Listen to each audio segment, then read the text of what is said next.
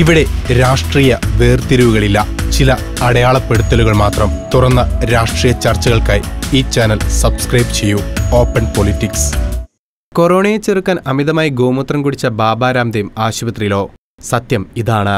അവശ്യനിലയിലായി Delhi AIIMS ആശുപത്രിയിൽ യോഗ ഗുരു ബാബ രാംദേവിനെ പ്രവേശിപ്പിച്ചെന്ന് ചിത്രങ്ങൾ social മീഡിയയിൽ പ്രചരിക്കുന്നു.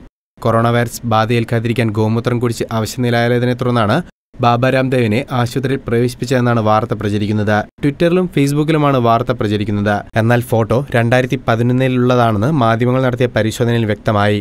രണ്ടായിരത്തി പതിനൊന്നിൽ കള്ളപ്പണത്തിനെതിരെ നിരാഹാര സമരം നടത്തിയ രാംദേവ് ആവശ്യനായതിനെ തുടർന്ന് ആശുപത്രിയിൽ പ്രവേശിപ്പിച്ചപ്പോൾ എടുത്ത ചിത്രമാണ് പ്രചരിക്കുന്നത്. ബാബ രാംദേവ് പൂർണ ആരോഗ്യവാനാണെന്നും കൊറോണ വൈറസിനെതിരെ ഗോമൂത്രം കുടിച്ച് ആവശ്യമായെന്ന വാർത്ത അസംബന്ധമാണെന്നും അദ്ദേഹത്തിന്റെ വക്താവ് തിജറാവാല മാധ്യമങ്ങളോട് പറഞ്ഞു ബാബ രാംദേവ് ചടങ്ങിൽ പങ്കെടുക്കാനായി ബാംഗ്ലൂരിലേക്ക് തിരിക്കുമെന്നും അദ്ദേഹം പറഞ്ഞു. സമീപ ദിവസങ്ങളിൽ രാംദേവ് പങ്കെടുത്ത വാർത്താ ചാനലിലൂടെ ചർച്ചയുടെ ചിത്രങ്ങളും വക്താവ് പങ്കുവച്ചു.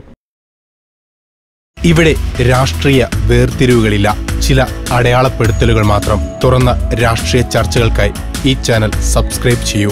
Open politics.